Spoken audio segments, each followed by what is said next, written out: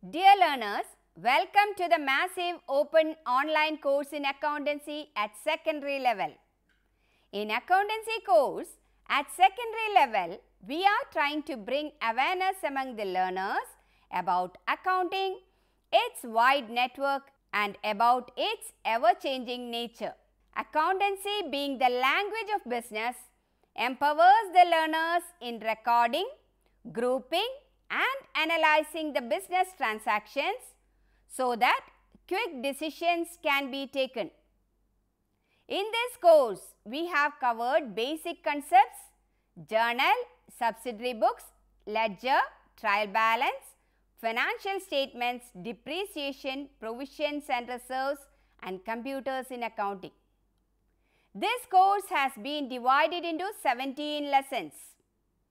Introduction to accounting will help the learners to understand the meaning, objectives, advantages and limitations of bookkeeping and accounting. After understanding the accounting terms, learners will be able to understand the accounting procedure in a better manner.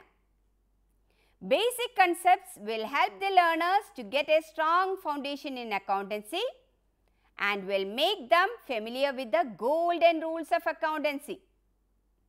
Topics like journal, subsidiary books and ledger will make the learners a practical approach of preparing these books which will be of immense use in the day-to-day -day life of business activities.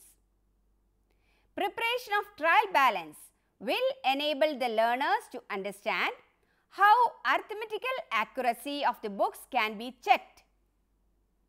Preparation of financial statements will help the learners to understand the importance of summarizing the accounts. Learners develop the skill of ascertaining the profit or loss of the business activities by preparing trading and profit and loss account. Learners will identify the final outcome after understanding the preparation of balance sheet.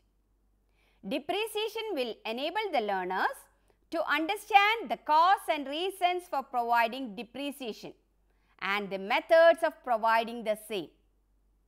Learners will understand the need for provisions and reserves and will be able to connect the same with the prudence concept.